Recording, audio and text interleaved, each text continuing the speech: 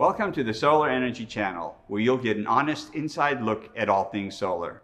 My name is Warren, and in this video, I'm going to talk about the SREC market in Virginia.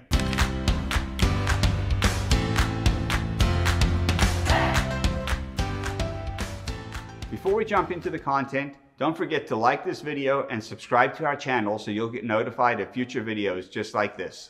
So SRECs are solar renewable energy credits or solar renewable energy certificates, and they represent a monetary value for creating renewable energy. The state of Virginia has recently created a marketplace where you can sell these energy credits. So if you have a solar system, every time your solar system produces a thousand kilowatt hours, you get one energy credit, and that energy credit is valuable and it's worth money.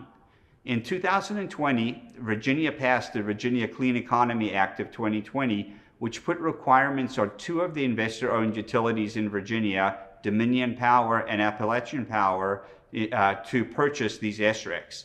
Dominion Power is required to get to 100% renewable energy by 2045, and Appalachian Power is required to get to 100% renewable energy by 2050. And on the process of getting there, they have to buy these energy credits from solar owners like you. So every time your system produces 1,000 kilowatt hours, either Dominion Power or Appalachian Power has to buy one of those credits from you.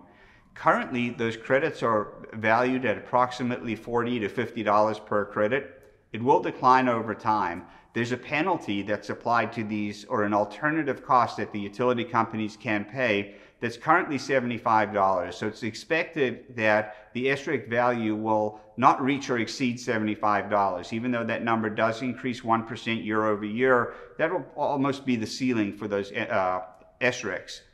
The way you can sell SRECs, if you work with a reputable company, some of the solar companies will sell SRECs on your behalf, or you can sell them yourselves through a broker within the uh, Virginia market.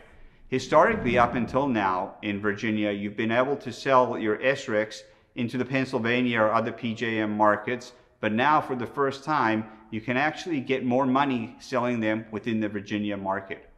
If you'd like to take a deeper dive into SRECs, we created a video for that as well. You can find a link to that video in the description below.